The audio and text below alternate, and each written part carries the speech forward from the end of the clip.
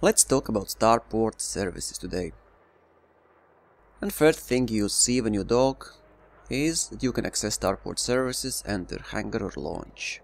When you enter starport services you will be seeing all facilities and available actions at this particular port. Outposts usually have less facilities than stations. Let me show you on system map how it looks like. You don't need to dock to station to see what you can do there. Example, I'm at this Foreman orbital. On the left you can see all information exploited by Li Yong-Rui. By the way, there's still a bug with Li Yong-Rui. You can buy not only modules with 15% discount, but even all ships. Government Democracy, Allegiance Federation, State Lockdown.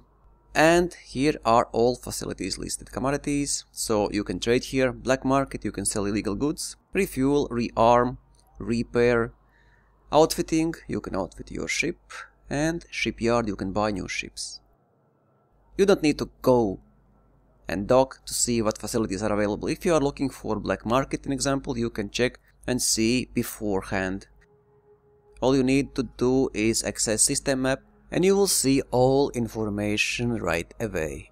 Also you can see trade data like economies, imports, exports and which goods are illegal. So if there's black market and for some reason you happen to have stolen cargo in your cargo bay, an example, you've stolen it or you found it already by visiting signal sources, then you are sure that this station will buy them.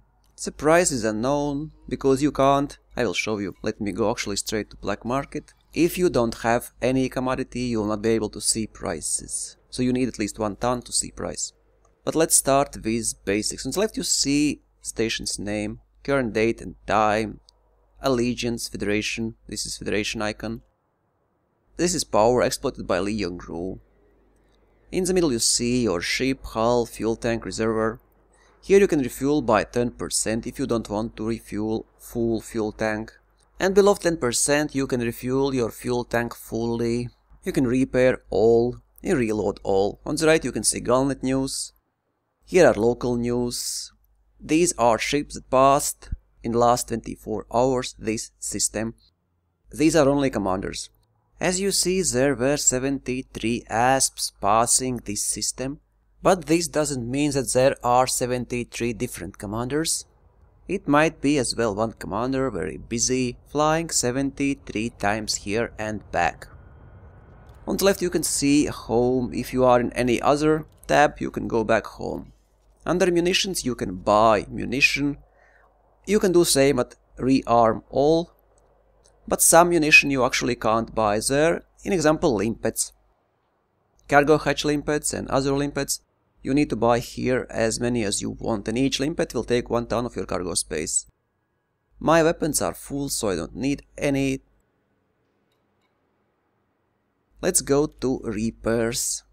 My ship is repaired, integrity is 100%. What is ship integrity? It's wear and tear. In short, wear and tear represents your ship suffering from damage, as well as from different flight modes like supercruise, frameshift drive, hyperspace, fuel scooping, overheating. It all adds to wear and tear. So wear and tear only will affect ship you are currently flying, not your stored ships. And if your wear and tear is at 100%, the worst it could be, then your maximum hull health would be reduced by 30%. So in worst case scenario, for now you only will suffer 30% penalty to your hull. And if you want to repair one by one, you can do this here, or, like I said, repair all. Bulletin board is for missions. Here you can accept missions, and if you have any missions already accepted, you can complete them here. They refresh, I would say, every 10 minutes or so, but not always. There are different kind of missions and they all are tied to your combat, trade or exploration rank, so higher the rank, bigger the payout you can receive after you complete the mission. This particular combat mission, tied to expert, you need to kill 9 pirates.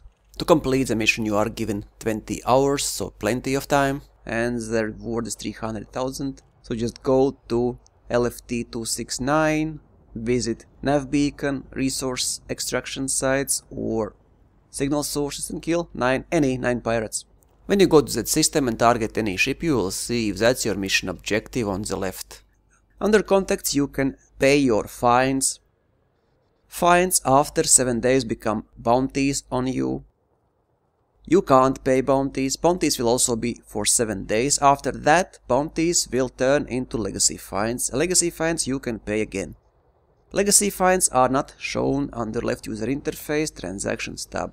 Current fines, current bounties, your bounty claims for ships that you have killed, wanted ships you have killed, here you will also see combat bonds that you will earn by fighting in conflict zones. Here you'll see trade dividends, power play points, so transactions are tied to contacts tab. But you will have to visit the correct system where is that faction that issued any transaction and go to contacts and cash it in there.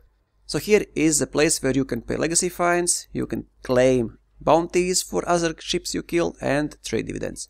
Trade dividends you will receive if you are trading in a wing. So if you are in same system as your wingman, when he is selling cargo, you will receive 5% of his profit. And combat bonds you will receive for killing ships in conflict zones.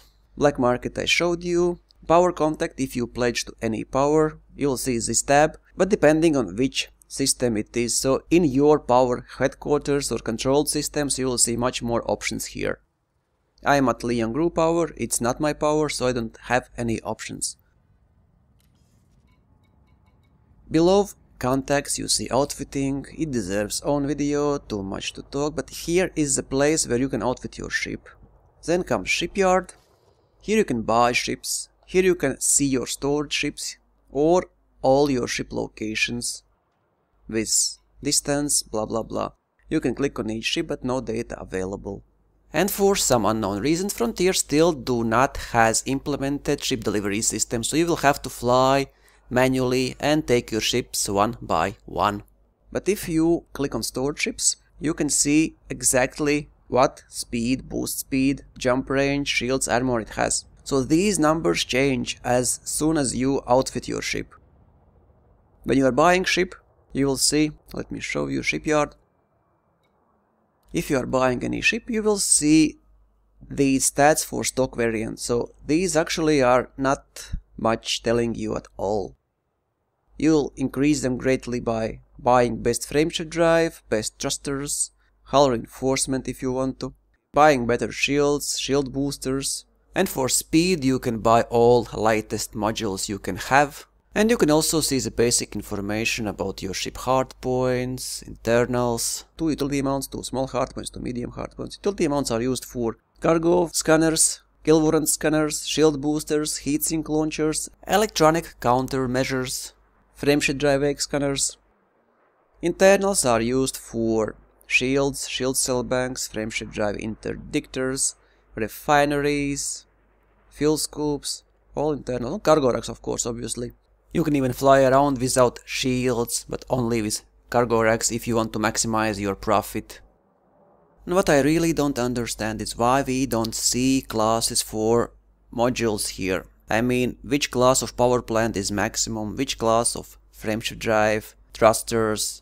This information now is useless. If you would see which class of thrusters, frameshift drive, power plant you can put in right away at shipyard would be much more useful.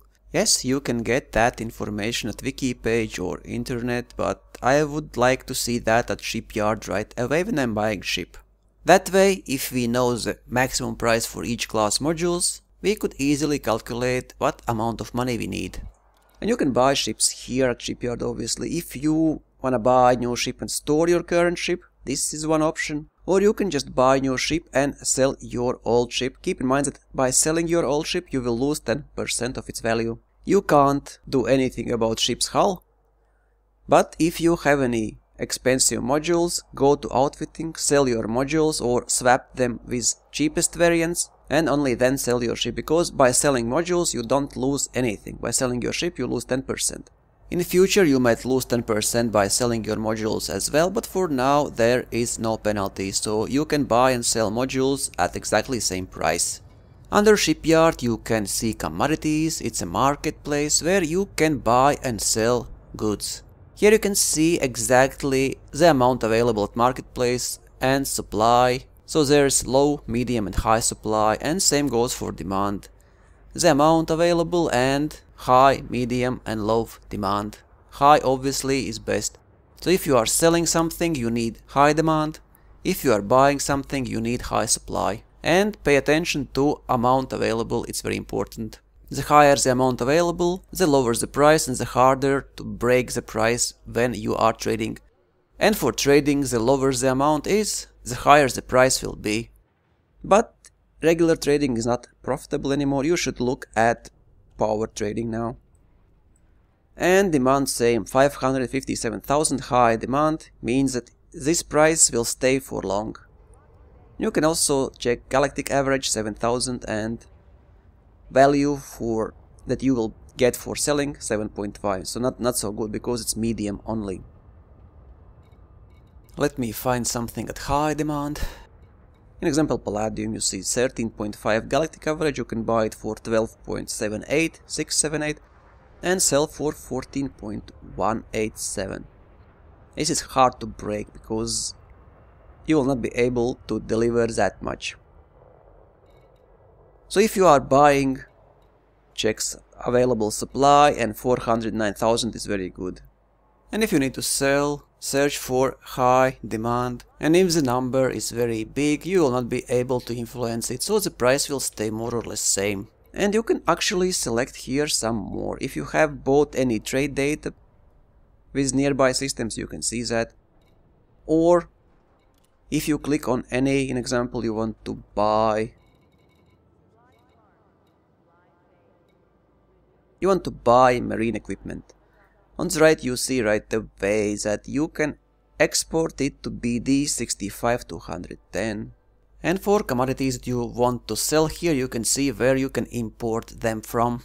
But this data is very generic, you'll still have to fly there and check exact prices to see. You don't even know what amount is available at the market. So here you buy and sell commodities. Universal cartography is where you sell your exploration data. And distance should be above 20 light years. So in my case, I have a scanned nearby system, almost 19 light years. To sell the data, I need to fly further away. So if you are doing long range smuggling missions, you can buy Discovery Scanner and make some money on site by exploring unexplored systems. So this is in short about station services.